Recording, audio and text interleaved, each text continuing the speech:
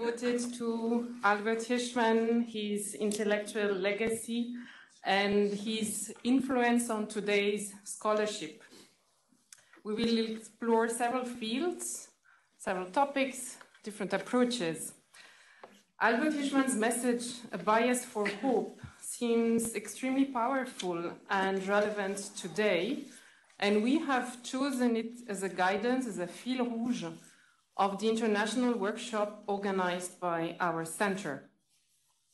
Albert Hirschman has spread ideas across different areas, different continents. He has inspired scholarly and policy projects, including the creation of research programs such as ours at the Albert Hirschman Center on Democracy at the Grad Institute, and also close to us with the Colorni Hirschman Institute in Rome, at IRMEA uh, in Aix-Marseille, but also in the United States, and importantly in Latin America. This is the seventh year of activity of the Albert Hirschman Center on Democracy, which was created at the Grad Institute in 2017 and supported by the Gnosis Foundation. I would like to thank its president, Dr. Peter Kalantzis, for making this possible in Geneva. This roundtable will discuss Albert Hirschman's seminal insights and how they enable to grasp specific research and policy issues. This is a public event of the international workshop convened by our center in collaboration with Oxford University, RedGob, and supported by the Société Suisse des Américanistes, de l'Académie Suisse des Sciences Humaines et Sociales. A big thank you to Janina Welp, my colleague at the center, and Laurence Whitehead for organizing the workshop. This is the first meeting of this year, organized collaboratively with Oxford University, and there will be a second conference in Oxford later this year in November. We are glad to welcome you, Laurence, to the Institute as a speaker in the event, as well as Santiago. A warm welcome to you. And it's a great pleasure to have you, Shalini, back with us uh, at the center. And finally, welcome to the participants in the workshop who are joining us from different universities in Europe and beyond. I'm delighted to introduce our panelists, uh, Santiago Gerchunoff. Professor Gerchunoff teaches political theory at Madrid Carlos III University. He specializes in the study of historical mutation in the public sphere, especially since the appearance of the internet. His latest book on the subject is Ironia On, a defense of mass public conversation, published in 2019. In his PhD work on Hannah Arendt and Benjamin, Benjamin Constant, uh, Albert Hirschman's political thought plays a fundamental role. Uh, Santiago Gerchunoff is also the editor of the latest Spanish version of the Rhetoric of Reaction, and he is preparing a new Spanish edition of Shifting Involvements.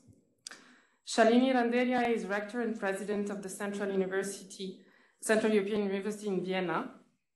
Her career as a sociologist and social anthropologist spans across different institutions across Europe. She was rector of the Institute for Human Sciences in Vienna and a professor at the Geneva Graduate Institute, where she founded and director, directed the Hirschman Center on Democracy. Professor Randeria holds the Excellence Chair at the University of Bremen, where she leads a research group on soft authoritarianisms. She has published widely on the anthropology of globalization, law, the state, and social movements, with a regional focus on India. Her influential podcast series, Democracy in Question, was launched in 2021 and is now in its eighth season. Laurence Whitehead is a senior research fellow in politics at Nuffield College, Oxford University, and until 2015, he was senior fellow of the college. During 2005 2006, he served as acting warden there. In 2011 2012, Professor Whitehead served as senior proctor of the university. Among his many books are Latin America, a new interpretation, published in 2006, and with a revised, updated edition in 2010. Democratization, Theory and Experience, published in 2002. His most recent edited publications include Let the People Rule, Direct Democracy in the 21st Century, published in 2017, edited jointly with Saskia Ruth and Janina Welp, and illiberal practices, territorial variants within large federal democracies, published in 2016, which he co-edited with Jacqueline Behrend. I would like to start the discussion by asking you some biographical questions. Um, my first round of questions to, to you, uh, Shalini, Santiago, and, and Laurence would be about your personal encounters. How has Albert Hirschman influenced your academic and the scholarly journey? Let me start with you, Shalini. How did you meet Albert Hirschman? Can you highlight uh, one of his ideas or concepts that has particularly influenced your work? So, thank you very much, Christine. It's wonderful to be back. Um, let me start with uh, two biographical quick remarks and then say something about one idea of his, which uh, was uh, the uh, founding idea for the center as well.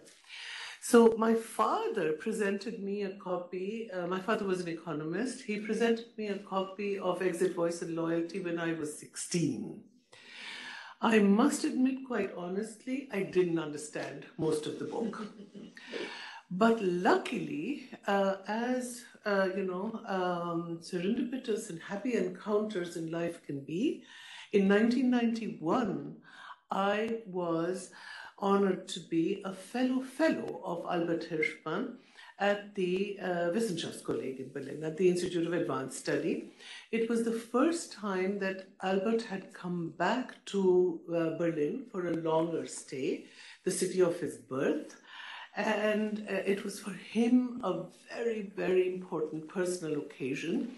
And I was living in Berlin at that time. so I took him around Berlin uh, for uh, several weeks. We went back to see where his family house was. We went to see where he went to school in the Französische Gymnasium uh, in Berlin. And so, over the course of the year that we spent at the Institute of Advanced Study, we had occasion for many, many conversations. But I should admit, very honestly, uh, 1991 was when I was much, much younger than now. I was very much in awe of Albert. So I now regret not having asked him many things I would have loved to have asked him. But I was listening more than I was asking. Now, I think the reason I want to choose the concept of exit voice and loyalty as the most powerful idea which influenced some of my work and which influenced us in the founding of the center is twofold. Mr. Kalantzis is here, and when we set up the center, the question that he asked was the center should not be named after the donors, the center should not be named after the foundation the center should be named after somebody whose work we can guarantee is being read by everybody in the Institute. And when I was told that that was the challenge, it took me 24 hours and I came back and said, Albert Hirschman. Albert Hirschman for two reasons. One, because I think all the disciplines in the Institute should be reading Albert Hirschman's work. If they are not, and secondly, because I felt a center on democracy is something which really uh, incorporates the most significant um, idea and actions in Albert Hirschman's life. If there's one thing that he devoted his life to, it was the fight against fascism. And uh, for me, that was something. Uh, so he may not be for many people the most important theorist of democracy, but I think his entire life was devoted to two things, as he says in an interview. He says, quite late in life, he says in the interview, there are two ideas which have lasted through time from the 1930s to the 2000s when he's um, uh, giving this interview. One is the idea, he said, a certain idea of social justice, and he said, a trust in democratic values and practices. And I think um, he's very right on both, and I thought it would be a very, very fitting tribute to somebody whom I hold in the greatest of esteem to uh, name the center after him. Now, Exit Voice and Loyalty. The book originally is very much about um, dissatisfied consumers. The book is very much about how do consumers react when um, they are, and it's written very much against uh, those economists who see competition as the solution to all economic problems, because he's saying competition leads to exit. Yeah, you you are unsatisfied with something as a consumer, and you will exit the firm. And his idea is no, voice can be as important a mechanism for correction as exit. Much, much later, the idea began to be applied by others, and later in 1991, uh, 92, by Albert himself to political questions. When he started thinking about the, how the collapse of the communist regime and the communist uh, the breakdown of the wall, and how East Germany collapsed. And then he does something very, very interesting. In the book itself, he says you have three options as a consumer. You are either loyal to the firm, you uh, it's the affection, your belonging, your strong sense of identification with the firm, which will keep you there. If you're dissatisfied, you exit, you leave, you go to the competitor, or else your option would be to voice dissent. And in the book, it's, uh, it's an oscillation between exit and voice, or it's even an opposition. And in the essays he writes after 1990, 91, 92, when he's rethinking the fall of the East German regime, he says, I am now beginning to think it need not be an opposition. Exit and voice can be complementary strategies. And he's applying it now not to firms, but to politics, to citizen action, to collective action by citizens. And it's a wonderful essay which he writes. And then, if you remember the title of the book that comes much later, he calls it uh, Propensity for Self uh, uh, Subversion. And this is where he says, I'm not going to say this is self criticism, this is a term which the Marxists have ruined for me.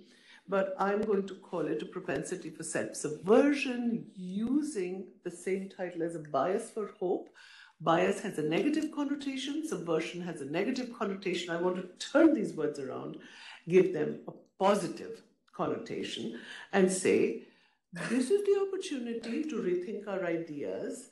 And I'm rethinking my idea in the light of historical experience. So he has no difficulty pointing out that not that the idea was wrong of the opposition from exit and voice, so that the more exit, less voice, or the more voice, less exit, which was the original idea.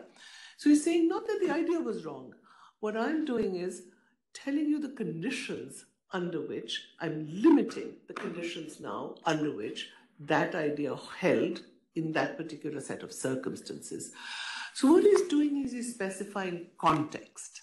And he's insisting that context matters, specificity matters, something which economists don't usually take into consideration. So, as an anthropologist, felt very much at home with this idea that context and specifics and particular cases and the unusualness of a case matter. And for me, the question of exit voice and loyalty was a very important question in my own work. It had a lot of resonance because I was thinking at that time about varieties of voice. And for Albert Hirschman, a lot of the question of voice was voice at the ballot box, elections, participation, and also protest. I was looking at a very specific kind of voice in my own work those days, and with that I'll stop in India. I was looking at the poor in India, those who are powerless, those who are dispossessed, the use of the court, the use of the law as the arena in which to exercise voice. So I started our work at the center saying, we need to think about strategies of exit. We need to think about ideas of loyalty to political parties, etc., in democracy. Also need to think about voice and varieties of voice because voice is being exercised in all democracies, old and new, on the street. So you are getting in democracies people in between elections in huge demonstrations where you would actually think they've voted for the parties that they want. Why are they all out on the street? And you get a lot of exercise of voice in courts. And this was the phenomena I started looking at the shift between the juridical domain and the political domain and the way in which they were imbricated with one another, in the uh, way in which accountability, accountability was demanded, social justice was striven for, and people decided to protest. Which arenas do you use when and why? How do you oscillate between arenas? And what is the relationship between these? So uh, I think that's uh, where I want to um, just stop with personal recollections. I have many. we'll ask you in the in the Q and A. Thank you, Shalini. Uh, Santiago, I would like to ask you the same question. How did you get to know Albert Hirschman's work, and how and when did you start reading him, and how influential was he on your journey? Well, first, uh, thank you very much for the invitation, Janina, the center, and it's an honor to be with here with Shalini and, and Laurence. I'm very happy to be here uh, talking about Hirschman. Um, well, I, I, I, I wasn't so lucky as, as Shalini. I, I, don't, I didn't knew Hirschman personally. I would love that, but, but it was not the case. But I have the same story. My father was uh, studying Hirschman a lot. And, and, and when I was very young, I, I, I wasn't uh, 16. I was much younger, but my father he, he didn't give me exit voice. He was not so perverse, but he he was always talking about Albert, about uh, his special intelligence. And my father was an is an economic historian, so um, so I have, I have heard about him a lot, and and his name symbolically it was linked in my head in, in my mind to. Uh, incredible intelligence. That that was my. But uh, it took me many years then uh, to actually read a book of his.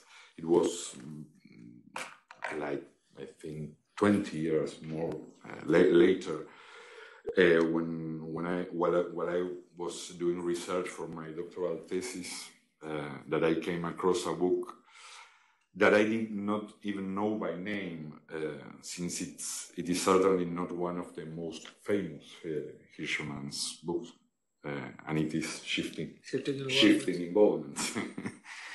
Uh, sometimes shifting involvement is known as a minor book with some problems. It, it has to do with uh, its reception in the moment and, and Albert's uh, attitude for, in, for um, in front of that reception, but it's an incredible book. Um, the, the reading days with me, first because uh, Hirschman was thinking on very similar problems to those I had in mind, and even he was putting focus on a classic discussion that was exactly one of the cores of my own work.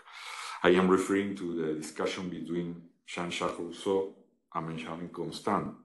By the way, two Swiss uh, thinkers, one of them precisely Schneeven.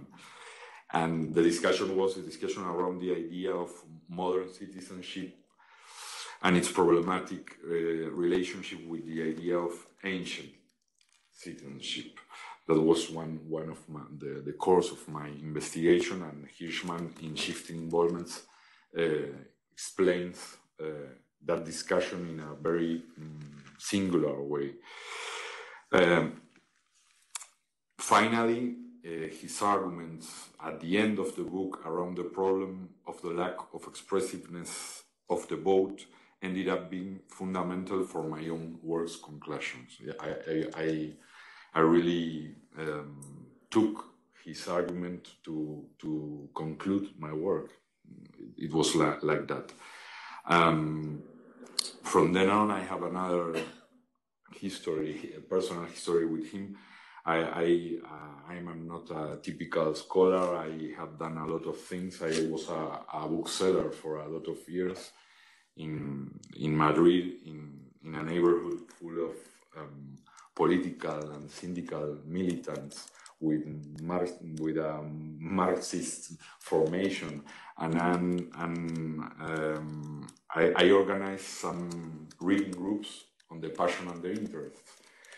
So it was very interesting. They they were they I I, I am sure that uh, I I um, that that I attracted a lot of new Hirschmanites to the course because they they were I think that they were very interested in in another uh, in another in another explanation of the origin of the of capitalism um, triumph, different from the from the typical um, original accumulation explanation in in, Mar- in Marx Capital.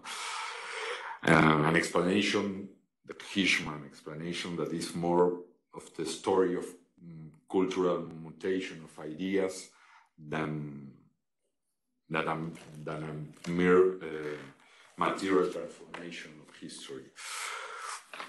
And finally, uh, in, in, the in what personal my personal relation with Hirschman, then some years later I, I started working as an editor, and I promoted and directed a, a new Spanish edition of the Rhetoric of Reaction. Mm-hmm. I changed the title, the, the Spanish title that was strange title. It was instead of La Retórica Reaccionaria, that is the literal uh, translation, it was some a bit strange. It was retóricas de la, de la intransigencia. There is a history beside that. It was uh, it was Albert who wanted to change it, but I have I, I wrote an epilogue to this edition explaining why I prefer the original, not Albert's decision. That's very interesting. It's a, a long discussion, but it's between titles. And now I, I am preparing a, a, a, new Spanish edition of Shifting Involvements. That was my first love with, with Hirschman. And in this time, again, I am changing the title because, again, in Spanish, it has a very strange uh, and I think a wrong. I think Shalini will be we will understand this. In, in, Spanish, it's not known as shifting involvements, but as interés privado y acción pública. The title is the subtitle. It is mm, called. In, so the oscillation movement is lost in the title. So in the new edition, I'm trying to change that, and I am and, I, and I'm naming it like compromisos variables, shifting involvements. Mm. So the oscillation movement is kept in the title. That's that's the idea. Uh, and to what idea I will I will mark especially. There's a lot. I, as I said, uh, all, all all his uh, research around the problem of uh, the lack of expressiveness in both was very important for me to understand um, that there's a consequence of that uh, lack of expressiveness that it is uh, like a repressed desire of expression that keeps like remnant when both uh, functions as a ceiling, as a top of, of, um, of expression. And that desire, repressed desire, that's my word, not, not Albert's mm-hmm. word. Mm-hmm. I think it's, it's something that has a lot to do with our um, digital mass public conversation. What happens is it has to do with uh, the liberation of uh, repressed desire. That's, that's, that's my idea, taking it from Albert's research around uh, inexpressiveness of both. but I, I, I, would mark too that the, the two mm, classic, mm, most famous triads, exit, voice, loyalty, and perversity, futility, and jeopardy in the rhetoric of reaction uh, has an incredible uh, vitality today. You can use them to analyze, I think, any political or sociological phenomenon. It's you, for example, with with uh, perversity, futility, and jeopardy. Uh, if you take any change of laws uh, mm, regarding new minorities, uh, LGB uh, minorities, when, when you see the reaction of conservatives, it's very easy to localize perversity, futility, and jeopardy arguments when they are against the, these new laws or new rights for, for minorities. That, that's, so they are incredibly mm, valid. No? They're still valid. And with exit voice loyalty, as you were as you were saying, um, you can analyze a lot of things. Like I, I think you, I, I heard you uh, talking about migration movements yes. such as. But for example, I think in uh, political coalitions, ruptures in political parties, what has happened uh, in Spain with Podemos uh, you can you can analyze uh, an, an, important political figure in Spain, Íñigo Errejón, attitude, and you can say it was exit, it was voice, it was loyalty. You can you can analyze. it was a combination of what what was, uh, or now in Argentina, the strange coalition that is in. What, what did Milei did? It was it was exit it is voice, it's both, loyalty, it's not. loyalty. so I think th- uh, that ideas are very vital and valid, and, and I recommend everyone to read uh, Rhetoric of Reaction and, and Exit Voice Loyalty are very useful today. I, I Thank you very much, Santiago. Uh, Laurence, uh, what is your story? How did you meet also Albert Hirschman and how did he influence your own work? Well, thank you for having me on this panel, and it's really very interesting to hear the first two um, presentations because mine is a bit different and uh, reflects the fact that Hirschman had powerful influences across a remarkably wide range of uh, disciplines and themes. So uh, in the 1960s, I was studying philosophy, politics, and economics at Oxford, and my biggest interest was uh, the economics of development. And the first time I came across Hirschman, it was reading his book, uh, The Strategy of Economic Development, which was a very um, inspiring and uh, refreshing alternative to um, the dominant literature on development that was uh, available to us at this time.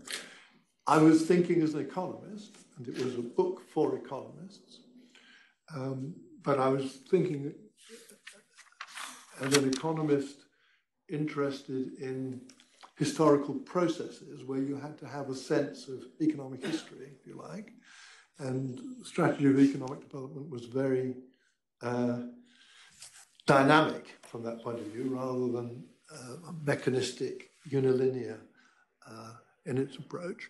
It was actually, to put it in summary terms, it was a disequilibrium approach to development in contrast to the um, static or the uh, cumulative unilinear models that were prevalent. And that not only was a general approach that I found very stimulating and helpful, but it also opens the door to a whole series of specific questions that you can then investigate uh, both historically, uh, in particular contexts, and so on. And I was searching for how to go beyond the generalities of ideas that were fashionable in the 1960s about developing countries to, um, as it were, uh, realities that I could gain access to that I could use to check my vague and general models that I was being given in university. So the next thing that came from me from, from Hirschman, and to me it's a very influential book, and it's not one of the books that you mostly quote, and the Hirschman thinkers pay that much, much attention to. It's called Journeys Towards Progress. And that did, for me, a tremendous service because uh, it had a pow powerful effect on my subsequent development.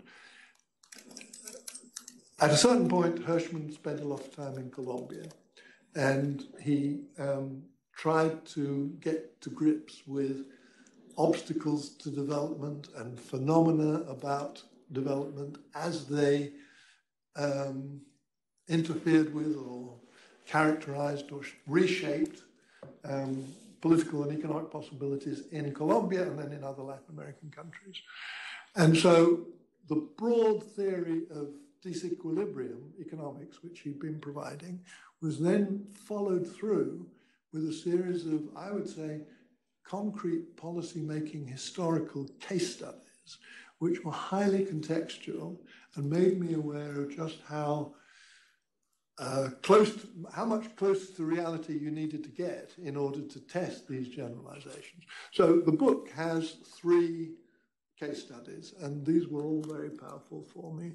One, and they're all in the broad framework of reform, right? One was looking at land reform in Colombia. Second was looking at inflation, monetary management in Chile. And the third was looking at dam building and um, uh, water, I mean, drought management in northeastern Brazil. So here we are. We're not now talking about very aggregate, you know, how does how do you get the rate of growth up by, how do you do the takeoff, as Rostow used to say, uh, into sustained growth, a very aggregate level. We're talking about what do you do when the largest region in Br Brazil can't grow because there isn't enough water and people's agriculture is held back by the lack of water? Or what do you do in Colombia when uh, the uncertainties and the conflicts about land ownership between uh, large landowners and, and, and small uh, uh cultivators um, is making it impossible for either side, really, to act like standard rational economic actors. So he, he has, uh, he, he, I was inspired by the, the broad book and then especially inspired by these concrete examples. And the three concrete examples in Journeys Towards Progress are then followed by, because he was always able to get close to reality and then to back up, back off and think more theoretically a really interesting and important chapter, which I probably didn't take fully on board uh, uh, at the time, but which comes back to me now, which is chapter five of Journeys Towards Progress, which is about models of reform mongering. How do you actually, given these kind of contextual problems, and these specific obstacles to development, how do you avoid I mean, one thing he wanted to avoid in his work on Latin America was, he, he particularly denounced, was called fracassomania. That's to say, uh, fatalistic, no matter what we try, it's going to fail. That's one. And the alternative is a sort of um, voluntarist, um, we're, we're going to, we've got the truth, we've got the one and only way out, and we're going to impose this on everybody else and disregard any objections and obstacles. He wanted, and the Journeys Towards Progress, is, as the title suggests, exploring how can we find some terrain in between those two impossible extremes which could lead to better outcomes, not perfect solutions, but um, better outcomes that were legitimate and politically feasible. That, that's the question that he, um, and the, the truth is, for me, that I'm not saying that this is just because of reading Hirschman, but it's relevant to what then happens to me. I was, my first job was to be university lecturer in the economics of Latin America at a time when Latin American studies was being set up in Oxford. And uh, the economics development was one of the key parts to it. I went to do field work in Latin America, as a result of which my conclusion was, well, a lot of the problems are not so much the ones that the economists are telling me about, they're political problems. And when I came back from Latin America, I stayed doing Latin American studies, but I became a political scientist. I, I migrated, fortunately for me, because I could not have kept up with the increasingly professional and technical direction that the economics discipline took, which took it further and further away from the economics of development that interested me. Um, and so I became, I, I, shifted to comparative politics. So that's a little bit the, the early ideas of Hirschman in my early formation. Um, and I stress that, as you were saying, he context was a very important part of what he did. And for me, the most important thing was to say, I need to know about some context. I shouldn't be going around saying, uh, oh, uh, the World Bank solution or the Washington consensus model is. I, I should be grappling with the real situation of difficulties in particular countries. That's what I got out of it. So uh, I move and I become a political scientist focusing on Latin America. And it's in that context that I first came across him in person, because uh, I was therefore invited. Well, my details, the details of me don't matter. The Wilson Center, Washington at the Smithsonian Institution, created its own Latin American program.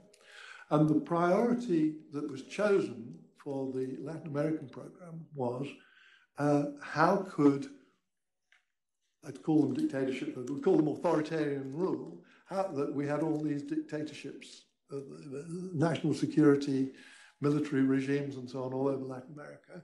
Uh, how could they be um, reformed and opened up and liberalized in order to achieve democratic outcomes? Following, you know, what was happening in Spain and Portugal and so on by the time the Latin American program was set up. So uh, I knew something about Spain and Portugal, and I'd actually done specific work on Greece, so I had some European insight into this. But I was a Latin Americanist, and the Latin American program set this up as its major program, and the intellectual guidance for the transitions from authoritarian rule in Latin America and Southern Europe project, that's the project I'm talking about, uh, was uh, a, a board of people chaired by Albert Hirschman. And so, in a little, I was a very junior person, and Hirschman was a very grand chair of a very grand committee, which also included, you know, Fernando Henrique Cardoso and so on. Um, but the outcome was I was hired by the Wilson Center to um, manage the implementation of the Transitions Project, which became, it's quite a well-known text in uh, Comparative Politics of Democracy, the Transitions from Authoritarian Rule Project, which basically, um, now, Hirschman, uh, what, what most people remember in political science about the Transitions from Authoritarian Rule Project is we, um, we were confronted with uh, two standard ways of thinking about what happens with authoritarian rules. Uh, one is you have a revolution, and with a bit of, like in Sandinistas or something or other, the authoritarians are overthrown by an uprising from below. Uh, um, and the alternative um, uh, is that you can't really change it. Now, the, the transition from authoritarian rule um, approach was, well, there have to be intermediate, uh, second best, negotiated processes that can uh, get you out of this dilemma. they're not guaranteed to work, but let's theorize what they might be like and what might come about, drawing a little bit of encouragement from the fact that in Southern Europe it was actually proving the case that negotiations were uh, peaceful transitions to more liberal and more open democratic outcomes were, in fact, coming about. So this is remembered in the literature as the strategic interactions approach to democratization. That's what we stood for. And generally, the credit for it is given to us, I mean, but in particular, I'd say to Guillermo O'Donnell, whose contribution was to say, well, you have to distinguish between hardliners and softliners in the authoritarian regime, and you have to uh, distinguish between moderates and radicals among the Democrats, and you have to look for the conditions in which the softliners and the, the moderates can find common ground and can push the intransigence at either side away. And I think, uh, you know, Guillermo deserves credit for that, and it was a very important thing that he did. But if you read uh, chapter five of Journeys Towards Progress, the first model on the contriving of reform, Hirschman had already, 10 years before, um, set out really basically what I'm describing. He doesn't get credit for it. I mean, he was the chairman of the committee that appointed the people and so on. But his name does not appear, and in fact, the, the, the transitions volume does not really say much about Hirschman. Hirschman, after all, was an economist, this was part, etc. But the truth is that uh, among the many different things that he inspired, this is one of the things he inspired. So that uh, I, uh, that led to eventually me meeting Hirschman more personally. He came to Oxford after the project was published and so on, and I showed him around the college, and we had a very nice day together. And um, uh, oh, what, before I come back, one of the other concepts which is much celebrated in the Transitions from Authoritarian Rule uh, volume is thoughtful wishing. You see, the argument would be why are you trying to um, spit in the face of reality uh, and imagine that these authoritarian rule regimes can just be got rid of, uh, when it's very unlikely that that will happen. And the answer, which is credited to Abe Lowenthal, the founder of the Latin American program, is this concept of thoughtful wishing. You know, it's not wishful thinking, which is to say you've got to be grounded, you've got to be, uh, you, your, your, beliefs and your thinking must not be distorted by um, a prior commitment that it's got to, you know, naive prior commitment that's got to come out all right. Um, but thoughtful wishing means you're allowed to be, uh, you're allowed to have uh, a, a normative value standpoint from which you approach a problem. Now, when you get to the problem, you've got to be extremely objective and clear and uh, uh, dispassionate about the evidence and the, the logic of what you're doing. But you're allowed to choose the subject from the standpoint you have, and that can be a normative uh, standpoint. So that's what the thoughtful wishing phrase refers to. But again, although Abe Lowenthal is the person who gets the credit for thoughtful wishing, the book called A Bias for Hope had appeared before thoughtful wishing, and it says the same thing. It's exactly, you know, in a more in, in a more elaborated way. Uh, so, fin finishing with my personal experience of um, showing Hirschman around Oxford, and he, you know, he was a very, very impressive man in various ways.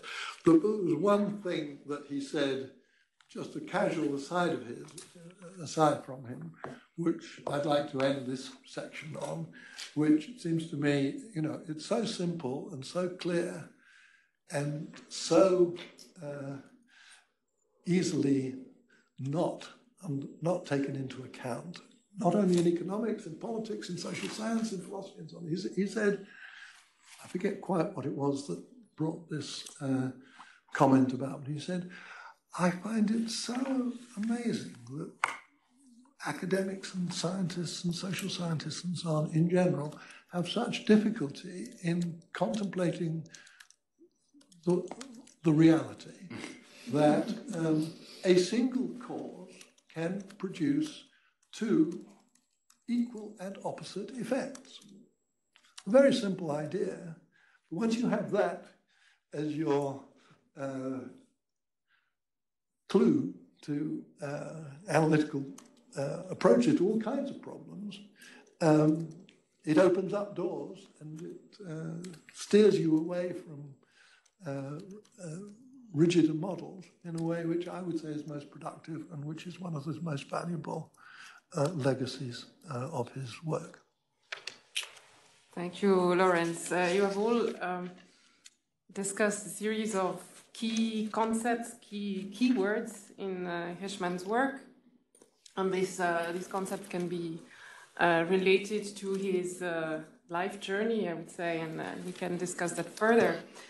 And these are also concepts that have been uh, explicited and proposed in a very open and direct mode in the case of the dyad or triad exit voice, exit voice, and loyalty. They have been applied widely to many contexts and situations. And these are also concepts that, uh, or categories that refer to uh, other concepts that are implied in uh, Albert thought. And they also derive, as you pointed out, uh, Laurence, from a certain way of looking at social reality.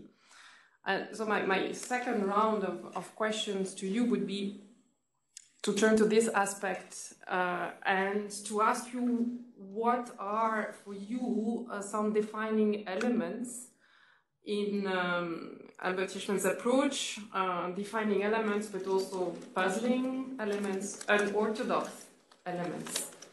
Would you like to, to start, uh, Santiago? Well, yes. I, I will link with, with the final idea of Florence was the, the his fight uh, to not to have rigid models uh, of thinking mm, and and the way uh, the the this, the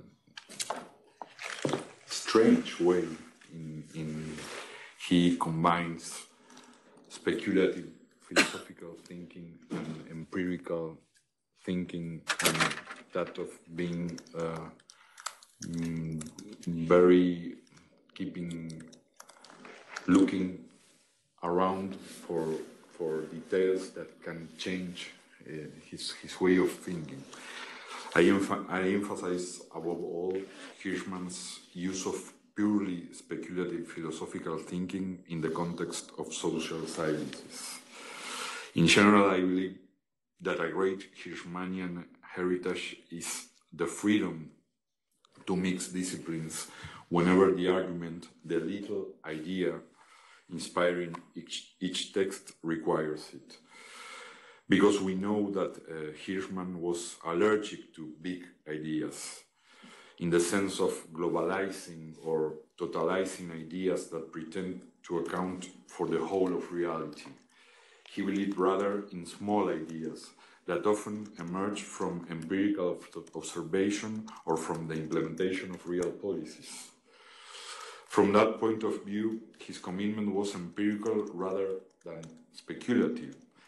But once the engine of thought was set in motion, starting from a small idea, Hirschman was able to use both quantitative studies aspiring to be evidence based and classic of and classics of speculative thinking. For example, in the case of shifting involvements, I am repeating myself, I love this book. it, it, seems that uh, on his trip to Russia in the late 70s, he was struck by the swing towards private consumption by ordinary citizens, right in the place that should be at the heart of public engagement. He was surprised by how people in it was the Soviet Union in that time was um, was interest in private consumption. But from this small idea, philosophy classics such as Rousseau or Constant or de Maistre, Burke, Locke, Hegel, if you think in the rhetoric of reaction, come into action in his books. Start from this small idea, and observe, a little observation in, in a trip, or, and then he starts with philosophical, speculative, classic thinking. Um, I do not mean to say that Hirschman was indifferent to the quantitative contribution uh, of, so, of the social sciences. We know that it was the disappointment already in his youth with the great economic theories, both Marxism and Keynesianism, that led him to join the anti-fascist resistance in Italy, France, and Spain, more as an expert in the interpretation of economic data than as a political theorist or a philosopher. But in the development of his major books, philosophical speculation is undeniably at the core of his arguments, always. The, the central arguments of his most import, in, important books, Exit Voice, Loyalty, The Passions and the Interest, The Rhetoric of Reaction, are unequivocally philosophical arguments, speculative, pure theoretical hypotheses. What happens is that they are inspired, polished, and continuously contrasted with data and studies that are nourished by social reality from an empirical point of view. And even so, it would not be accept acceptable for me to say that Hirschman was an empiricist. I think he was not an empiricist. It's much complicated. I believe I believe that in, in him the self-subversion tendency was more profound than, than empiricism or simple empiricism. And it is in this tendency, originally named by Hirschman to describe himself, this idea of self self subversion in thinking. Um, it is in this idea where we can find the key to the precise relationship between the speculative theoretical and the scientific empirical in him. His form of discourse was fundamentally speculative, and his model of thought was that of classical philosophy. But his suspicion of all big ideas, the great systems of thought that become intransigent because they pretend to always be consistent, made him continuously attentive to the data of reality that could subvert his own ideas. The, clear, the clearest example, in my opinion, is in the sixth chapter of The Rhetoric of Reaction, famous sixth chapter. After constructing an entire book in one direction, the critic of conservative thought, the author, Albert, the author himself, shows in the penultimate chapter that the same phenomenon, reactionary thesis against change, can also be studied in an opposite ideology, the progressive one. That's self-subversion. He was, he was ending the book and he changed all the, the sense of the book. Uh, it is a matter of never being entirely content, content with what one's own theory, originally speculative, enunciates and remaining attentive to reality to the point of being willing to put up with a new inconsistency in the theory in order to polish it, and so on again and again for a lifetime. At bottom, it is a matter of the need never to lose sight of contingent condition in which human action moves. That was what context, what Laurence was pointing. So you can always, uh, being attentive to, to this contingent condition, you can always change your theory, as, as Shalini was, was uh, speaking with uh, exit and voice in the case of Hirschman he's he was so so he has his his eyes so open to new realities that he he, make uh, a new contribution only by by changing the context, using the same theory with another context and, and showing that it, uh, it it still valid. So I think this this combination between speculative and empiricism in that way is something that uh, is a big heritage and, and, we, we can we can use it if we if we are able. It's not easy. Thank you. So yeah, context matters. Uh, complexity must be factored in, and also there is this link between theory and practice. I don't know, Laurence, if you'd like to elaborate on some of the aspects that for you are defining maybe uh, yeah. approach, maybe in this direction. As I say, he was an economist too, uh, and um, while he was always a heterodox economist, um, and some difficulties I think arose from, in terms of his career because of the question, you know, if you're an economist, why aren't you being more of an economist and not doing these other things? Uh, but especially because the purpose that I'm here for, which is to promote a conference on Hirschman and his contemporary relevance to public policy choices in Latin America today, uh, it's worth going back and uh, underlining certain of the things that he was uh, contributing uh, in terms of uh, Latin American policy issues, things that one that, that are very much under uh, neglected, I would say, in the general memory of Hirschman, but that are things that I will encourage people to revisit and to um, uh, uh, update. Um, so, I mean, take a, a, very simple, the very first thing he did, I think, in the early 1940s uh, uh, to establish himself as an economist was uh, at that time not, uh, uh, it, it, was about um, the dynamics of trade. And whereas the standard liberal idea was, you know, the more trade you have, the more benefit that's generated, and the exchanges mean that both sides gain.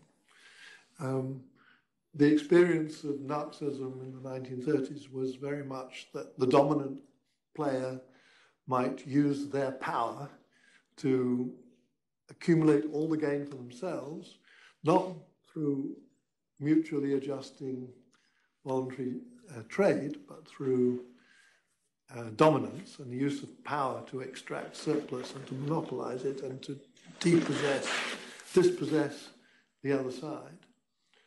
Um, and he, so he, he took that question, which was really a big theoretical problem with classical economics, and he tried to extract some generalizations about international trade from that which are subsequently became taken up by people like Prebisch in Argentina and the dependency school and so on, uh, along the lines, uh, he, he was against the dependency school, by the way, uh, uh, along the lines of, oh, we are being so dominated through international trade that we have to break with it, or uh, um,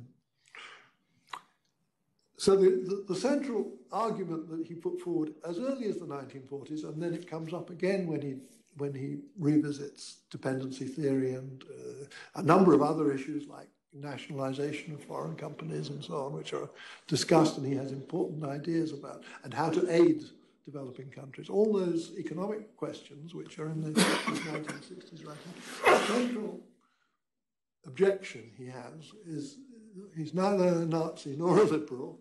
So what am I going to do intellectually to find uh, the trick, the key idea that um, explains what's going on and is neither of the above? Um, he, just very, very simply, if you take that um, uh, one party, let's call it the United States, is overwhelmingly powerful and prosperous, and a second party, let's call it Latin America, is in a very weak position, uh, only able to supply a limited range of uh, raw materials, which uh, it doesn't have any bargaining power about the price over, right? That looks like um, an extremely uh, intolerable situation for which there is no, uh, as it were, easy remedy. But if you think sequentially over time, and if you look at the politics of the interaction between these two powers, what do you find? You find that the very powerful dominant state has many, many opportunities and alternatives and priorities to consider.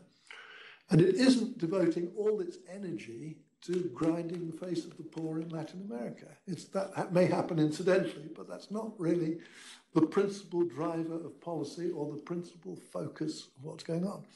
From the Latin America, or if we take the Latin American case, from the point of view of the, the victim in this unequal exchange, um, there isn't any wide diversity of other considerations. There is only one thing to deal with. How am I going to get myself out of this utterly unequal exchange? And to do that, all my resources and all my energies will be focused on trying to get round the disadvantages, right? So what looks like in the first stage an impossible uh, um, injustice that can only lead to ever greater injustices, turns into a dynamic interaction process in which the weaker party has some advantages, has some strategic opportunities, and can, as it were, analyze more closely than. I, I, I, this may be too detailed, but it, it, it illustrates for me exactly what he was getting at. He didn't know about this particular study, but the Dominican Republic only produced sugar. The United States had a vast internal market for sugar and could choose where it got its cane sugar from and could dictate the price that it would get it from.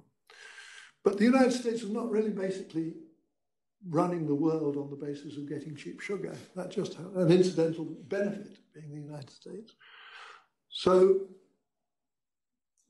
the president of, of the Dominican Republic focuses attention.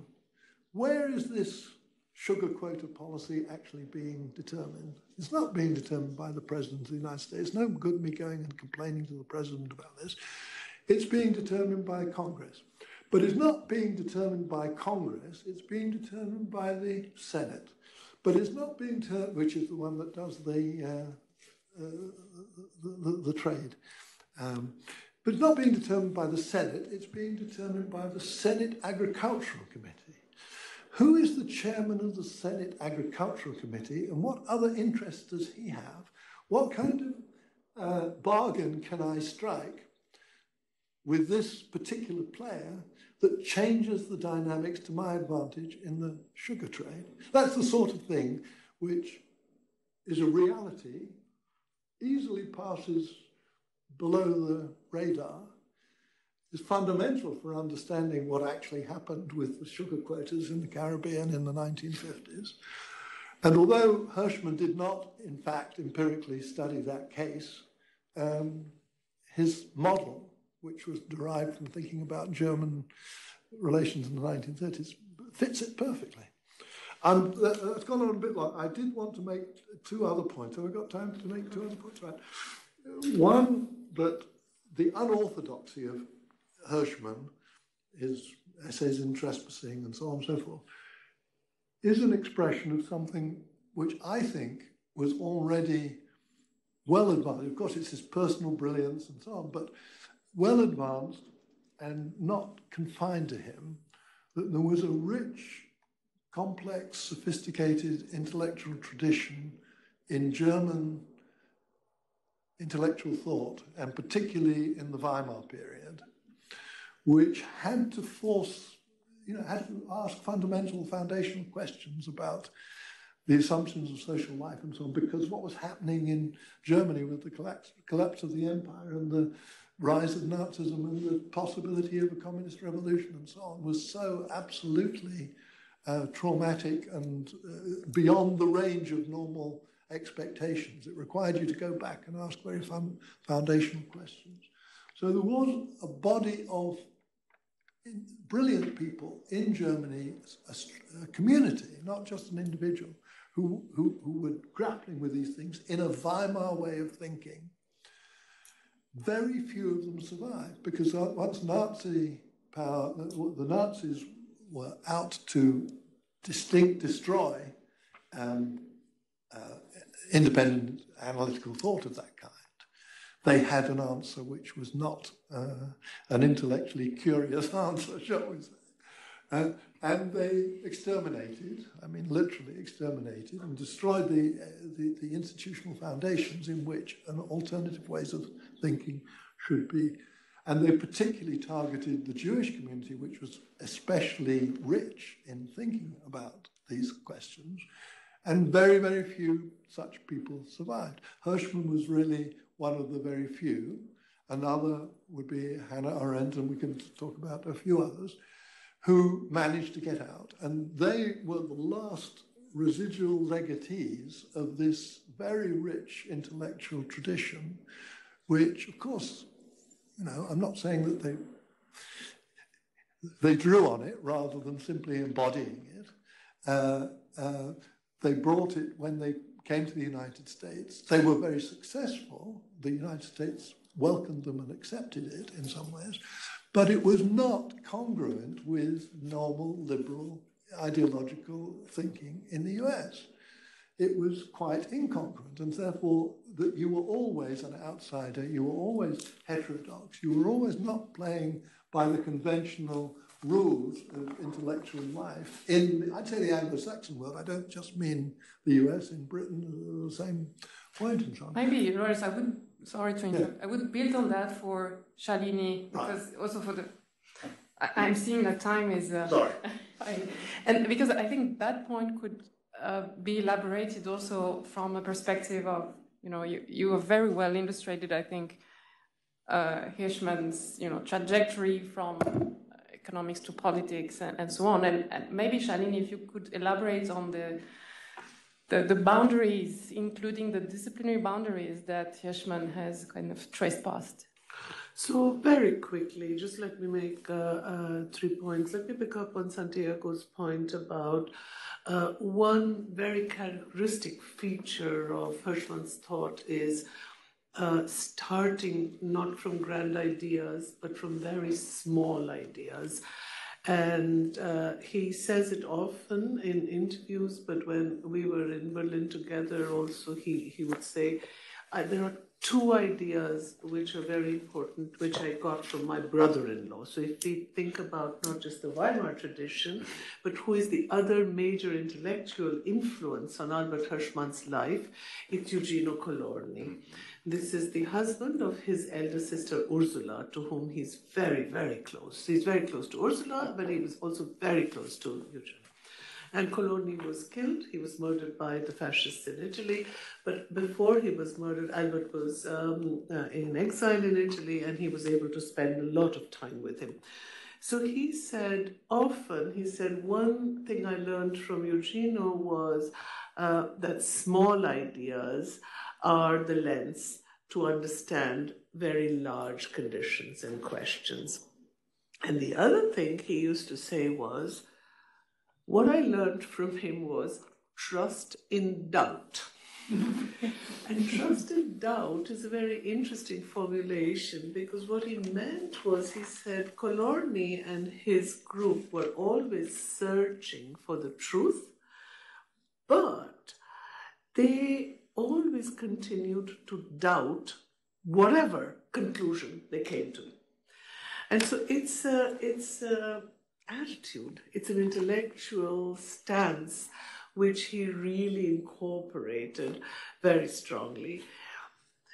The trespassing of boundaries and disciplines, uh, which you alluded to, uh, Christine, I think it's uh, multiple. I think we've all uh, talked about how uh, it's very difficult to classify um, his work as belonging to a discipline. I mean, he was a very um, uh, well um, trained, but actually self trained economist. Um, and uh, he then trespassed without any difficulty into uh, political um, uh, theory, into sociological um, um uh, ideas. But for me, the two interesting things uh, were one, how much he uses literature in all his subsequent writings. In the early writings, which are proper books, um, he doesn't as much. But the second part of his life is devoted almost to a genre of writing which are essays. And uh, the essay form becomes for him the most uh, chosen form of um, writing. And all of those essays start with an epithet, and they're very much about using literature. And the elegance of that writing is really saturated with a literary uh, imagination. And you can see that, you know, German is his mother tongue. He has French almost um, uh, native uh, fluency because he went to the Französische in, in Berlin. English is his fourth language. He learns Italian before that. In between, he learns Spanish and Portuguese, but then he learns English and then he writes in English. So he's trespassing linguistic boundaries, disciplinary boundaries, crisscrossing using literature on, on from all of these different uh, languages, disciplines. So there is a, a, I would say, in addition to the Weimar scholarship, there is a deep humanism, European humanism to his scholarship, which I think is something really characteristic of his writing. And on the essay form, and then I just stopped with that. So, uh, those of you who know uh, Albert's um, life, you know that he was, um, after a short, very short period fighting in the Spanish Civil War, he's then in Italy um, uh, with uh, Colorni. He gets his PhD from Trieste. Um, he then leaves Italy because of the fascist, um, uh, uh, you know, takeover, and he's in occupied France. And then he's in Marseille. Um, working with Varian Fry, and he works for the rescue committee. He's the one who is helping Hannah Arendt um, and people to escape. Finally, and he he's, uh, has several forged passports, but because he's a native fluent in Italian, German, and French, he has three identities, and he has three forged passports, and he's going using all these passports, uh, helping people. And then it becomes uh, too close for comfort, and he walks over the Pyrenees um, uh, and uh, finally uh, emigrates to the US uh, by Lisbon. So once when we were having lunch in Wissenschaftskolleg, one of the questions somebody Madame, asked bonsoir. him, Nous vous informons que la bibliothèque va fermer ses portes dans 15 minutes. Nous prions de vous diriger vers la porte de sortie Si vous avez des documents à emprunter, veuillez le faire dès à présent. Merci de votre attention. Vous une excellente soirée. So one of the questions someone asked him at the lunch table was, and I was just listening to the conversation, what is the one book you would take with you when you were crossing the Pyrenees? And he said Montaigne's essays. And Montaigne was a very, very big influence on his writing and his thinking and his style of writing. And um, I think it's it's good to remember that when you're reading him because it gives you a very deep insight into the kinds of um, uh, uh, things, uh, including a lot of self-reflection in those essays. And then let me just say something on the complexity question, because you know, usually, and he has a very interesting essay called Against Parsimony. And he's very, uh, he's really a, a, very scathing attack on economists for what he thinks is too much parsimony, and he thinks this is just totally counterproductive. So he's very much for complexity and context. But it's two kinds of complexity, and I think that's why Montaigne is very interesting here. It's not only the complexity of social life, which we've all talked about in political life, economic life, etc., but the complexity of the human condition and of human life. Because if you read the essays, that is where you see how much the formation is from Montaigne, the idea that human beings are extraordinarily complex. And if we want to understand society, we cannot reduce them, as economists are tend, uh, tend to do, into just individual, self interested, uh, monistic um, uh, individuals. So I think a lot of um, the richness um, and, uh, for me, the, the, absolute brilliance of the essays uh, comes from exactly that kind of background and formation. Uh, may I say something? Sure, sure.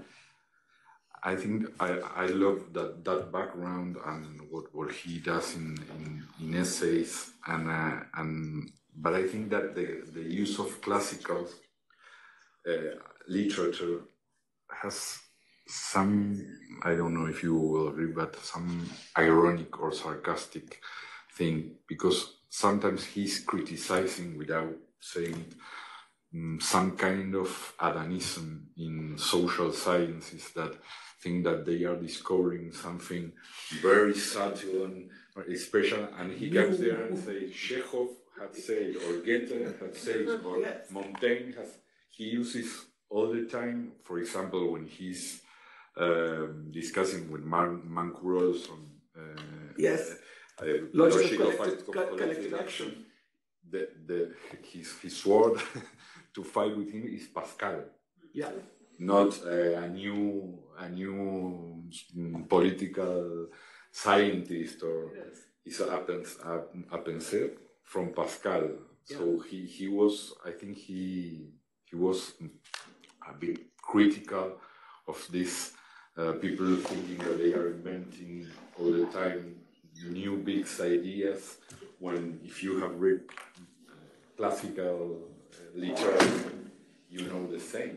But I think that's very much because he's so interested in the complexity of human condition, right? Ah, I think that is where I, and I think you're absolutely right. And he goes back to classical texts, he goes to nuance, but just so that uh, you know, on because uh, this is in the context of the Democracy Institute, he has a, a very interesting essay called "Opinionated Opinions," right?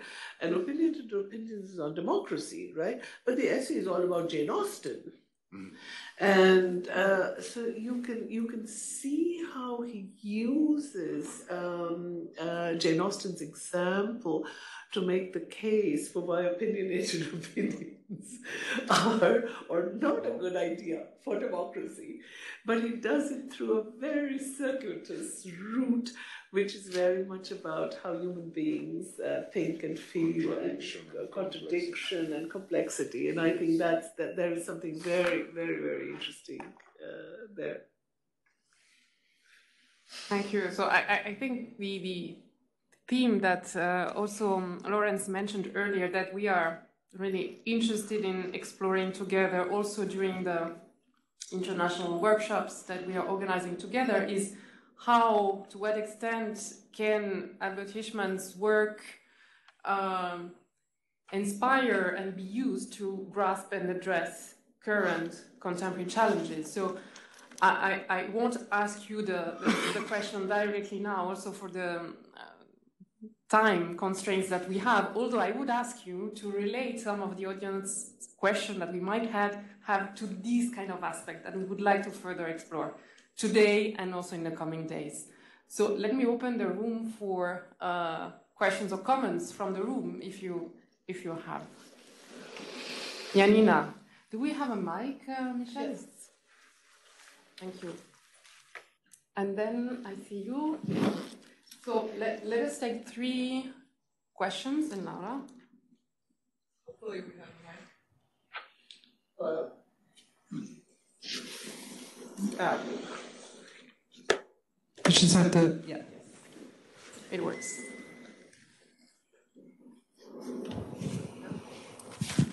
Yeah, quick question because I think we are running out of time. A wonderful conversation. I really enjoy listening your uh, your thoughts and your experience with Hirschman.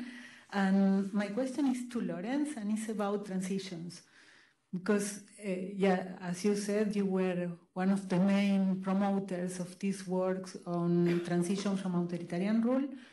And yeah, one of the basic elements of this work is the identification of conditions for transitions. And Hirschman said something like transitions should be thought as constellation of rare events in place of something related to conditions. And in fact, if I re remember well, in, in, a, in an article in the New Yorker Review, he wrote about the case of Argentina, where he said none of these conditions were really present, but the transition happened and the regime stayed. So my question is, how do you read now this criticism, uh, or yeah, it's a criticism, on, on your own thoughts on the transitions? And I have more questions. Thank you. Then we have a question there, and then Laura. We take three, and then the next round. Uh, hi, a, um, an awfully theoretical question um, uh, to uh, Mr. Whitehead.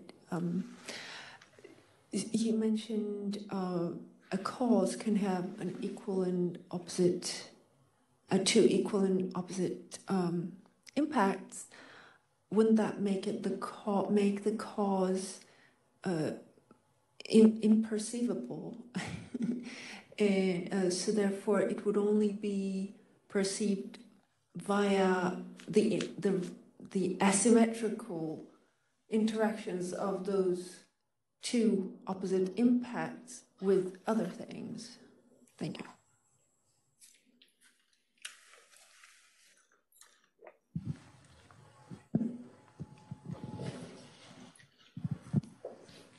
Thank you. So first of all, thank you so much for the fascinating uh, discussion. I wanted to come back to a theme that all three of you have uh, touched upon, which is Hirschman's inter interdisciplinarity. So you've talked a bit about some of the hurdles he may have faced, uh, where the intellectual tradition it comes from, etc.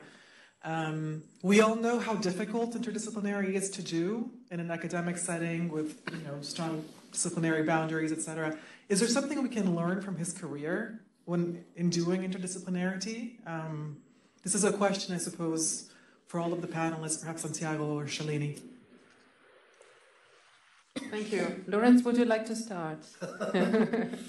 okay, well, um, on the transition, sorry, for Janina, on the transition. Um, um, on the transit. This is the that's all right. Okay, now? Uh, on the transitions point, um, uh, just there isn't a. The key idea. Uh, from the Hirschman side, the key idea is possibilism. Um, it's that it's that uh, all sorts of things are possible. Uh, we shouldn't be tied to the social science mantra about prediction as the test of scientific certainty, we should entertain the possibility. Given that we're we're uh, allowed to adopt a standpoint where we would be interested in something happening, and then we have to be cool and clear and logical about the conditions under which it happens and so on that obviously does raise the possibility that you end up saying um, all these conditions are required and Argentina doesn't meet any of them, so it's not going to happen. But that would be a prediction. He's against predictions. He's in favour of entertaining with doubt, you know, even though the conditions don't appear to exist. Uh, uh, you still can't be sure it's impossible. And that's because of uh, I mean, other things in his theory, which include um,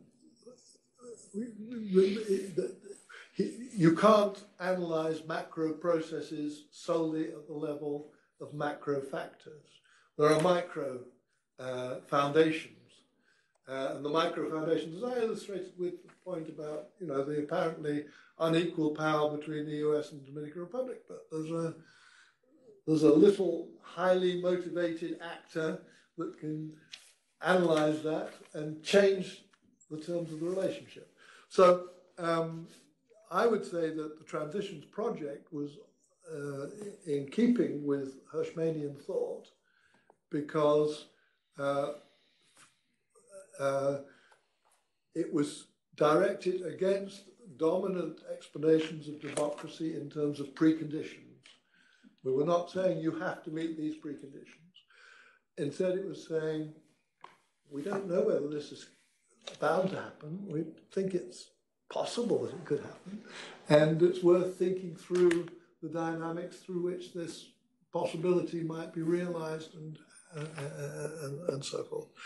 Uh, and it's elsewhere, I think other people have um, said this, but we were also very influenced by Machiavelli in this respect. Um, so that's as much as I can say on that point. Now, if I, I just produced the throwaway line because it was what Hirschman said to me about uh, a single cause can produce two equal and opposite effects. Um, in pure abstract, you are right that if you only have uh, one cause and two effects, and the two effects are equal and opposite, uh, you don't even know you've got a cause because you can't see an outcome. That's what you're saying. That wasn't really what I think my interpretation of what he was saying. He was saying causal models which are overconfident about the chain of direction uh, are um, liable to go wrong because uh, the countervailing effect, uh, let's say, uh, I'm not sure whether this would be one of his examples, but to, you know, if you if you say I am Fukuyama and I know that history has come to an end and that there is only one future for liberal for the world, which is liberal democracy, that would be the kind of thing where he'd say, well, uh, you know, there are two results rather than one. They don't necessarily happen at the same time, but uh, the extraordinary ambition and relentlessness of that claim inspires an equal and opposite reaction. Look at Russia, China, and so on, you know. May take it time. It doesn't mean that the, uh, the underlying cause was not there and did not produce effects, but the effects do not correspond in a permanent and uh, relentless way to what the causal model would suggest. That's, I think, what he was that, getting at. That end of history, uh, Fukuyama, it's what he would have called a big idea in a bad sense, I yeah, think. Yeah, yeah. So that's the thing, interdisciplinary, interdisciplinarity, what can we learn from his career? Well, I mean, it's the same question that keeps affecting academics generation after generation and so on. Your claim why it's worth doing the study and collecting the evidence and do dominating the complex methods and so on is that you're going to, in the end, at the least, improve understanding as compared to people who haven't done your research and your disciplinary uh, scholarship. Um, that ultimately has to either be true or not true. If uh, by the relentless pursuit of let's call it the Fukuyama claim, or let's call it the Rostow model, or whatever it is, you get further and further away from understanding what's happening to democracy around the world, or what's happening to economic growth around the world, um, then your discipline is bankrupt. That's the fact of the matter. And, and, in the end, I mean, it may take an awful long time. If your if, if your discipline is bankrupt, the problem that the discipline is failing to explain is going to have to be explained in some other way. And your, your discipline is going to uh, be uh, rendered useless. And some other approach, which might not be perfect either, is going to become the explanatory um, procedure that is socially and uh, intellectually acceptable. So interdisciplinarity is uh, a bit like we've been saying about the essays and the, uh, uh, the trespassing and so on, is that arrière-pensée, perhaps I take this model just as far as it can go, but I always keep going back and checking, is it working? Is there something else that would do better? What is the alternative, you see? And that might be within my discipline, I can improve my discipline, or it might actually be uh, that I have to use a different discipline entirely. Um, that doesn't solve individual academics' career problems, but that's what the enterprise of understanding requires. Shalini. So very, I mean, my flippant answer to you would be to say the lesson to be learned is however brilliant you are, you don't get the Nobel Prize. because that's what happened to him. I think he more than deserved the Nobel Prize, and economists would not consider him one of their own. But what you do see in his career is a transition. So in the early works, he is an economist. He's disagreeing with a lot of his fellow economists, but he is actually practicing the trade uh, in very, very um, uh, disciplinary uh, um, um, uh, how should I say? I don't want to use the word orthodox, but uh, um, uh, in, a, in a fashion which would be actually using the tools of his discipline, or all the earlier books. And even with strategies of economic development, etc., he's disagreeing with a lot of orthodoxy, uh, but he's still uh, sort of up to a point very much an economist.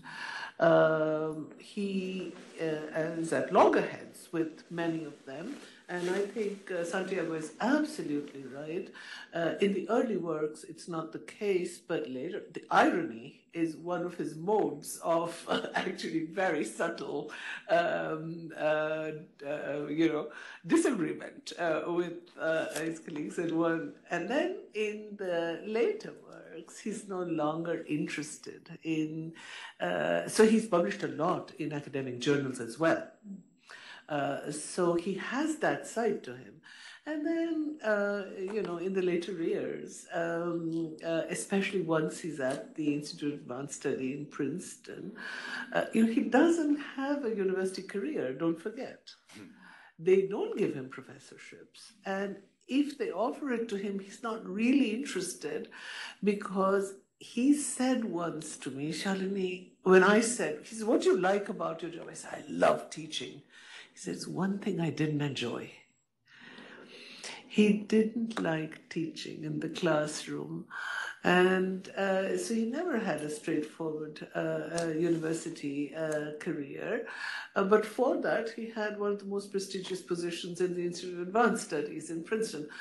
And that gave him total freedom, right, to, to trespass in any direction which he wanted. And the essays are, of course, no longer pigeonholed into any disciplinary category. So I think it's also, one has to see that there is, a, a, from, from the career point of view also, there is a, a development. Uh, Santiago.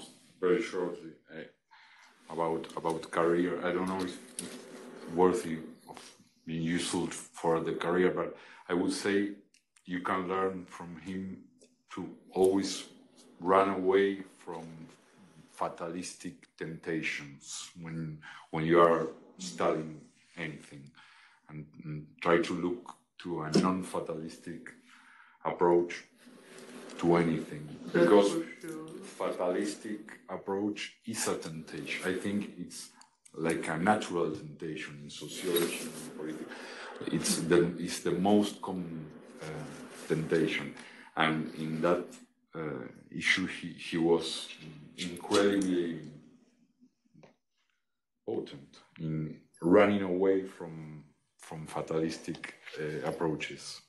I would love him to, to, to be here thinking, for example, about the internet and instead of saying it is destroying our democracy and that kind of things, what, what he would do to run away from a fatalistic uh, approach to think internet.